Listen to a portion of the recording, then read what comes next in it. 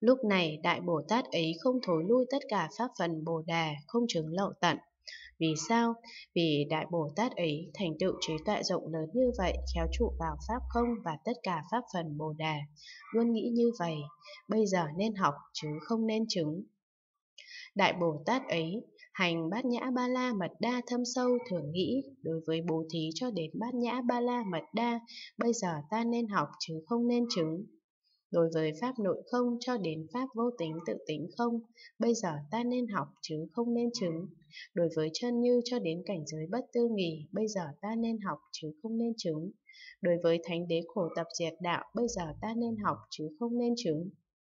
Đối với bốn niệm trụ cho đến tám chi thánh đạo, bây giờ ta nên học chứ không nên chứng. Đối với bốn tịnh lự, bốn vô lượng, bốn định vô sắc, bây giờ ta nên học chứ không nên chứng. Đối với tám giải thoát cho đến 10 biến xứ, bây giờ ta nên học chứ không nên chứng. Đối với pháp môn giải thoát không vô tướng vô nguyện, bây giờ ta nên học chứ không nên chứng.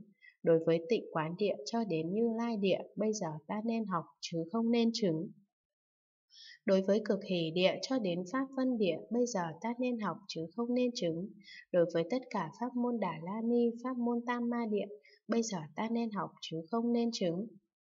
Đối với năm loại mắt, sáu phép thần thông, bây giờ ta nên học chứ không nên chứng. Đối với 10 lực như lai cho đến 18 pháp Phật bất cộng, bây giờ ta nên học chứ không nên chứng. Đối với đại từ, đại bi, đại hỷ, đại xả, bây giờ ta nên học chứ không nên chứng. Đối với pháp không quên mất, tánh luôn luôn xả, bây giờ ta nên học chứ không nên chứng.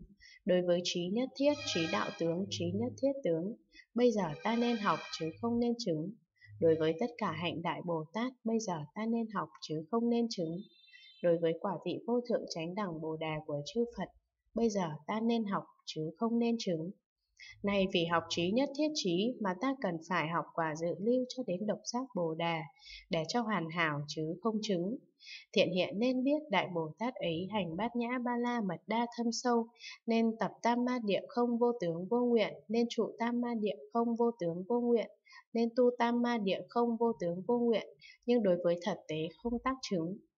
Nên tập bốn niệm trụ cho đến tám chi thánh đạo, nên trụ bốn niệm trụ cho đến tám chi thánh đạo, nên tu bốn niệm trụ cho đến tám chi thánh đạo, nhưng đối với thật tế không tác chứng. Nên tập các pháp phần Bồ Đề khác, nên trụ vào các pháp phần Bồ Đề khác, nên tu vào các pháp phần Bồ Đề khác, nhưng đối với thật tế không tác chứng. Thiện hiện nên biết Đại Bồ Tát ấy tuy tập pháp môn giải thoát không vô tướng vô nguyện, cũng trụ vào pháp môn giải thoát không vô tướng vô nguyện và cũng tu pháp môn giải thoát không vô tướng vô nguyện, nhưng không chứng quả dự lưu cho đến không chứng độc giác Bồ Đà. Tùy tập bốn niệm trụ cho đến tám chi thánh đạo, cũng trụ vào bốn niệm trụ cho đến tám chi thánh đạo, và cũng tu bốn niệm trụ cho đến tám chi thánh đạo nhưng không chứng quả dự lưu cho đến không chứng độc giác Bồ Đà tu tập các pháp phần Bồ đề khác cũng trụ vào các pháp phần Bồ đề khác, Bồ đề khác và cũng tu các pháp phần Bồ đề khác.